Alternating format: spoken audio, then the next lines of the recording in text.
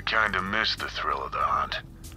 We used to hunt down those fugitives and mercs for the highest bidder, stalking and sneaking and tracking. We were a highly trained predator. Yowling madness at the midday moon. And now we're this. A ranting, rambling lunatic who can't go five minutes without screaming the word blood. Can too!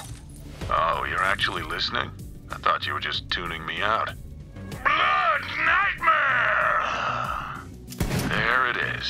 Well, it looks like I'm stuck with you. For now, at least.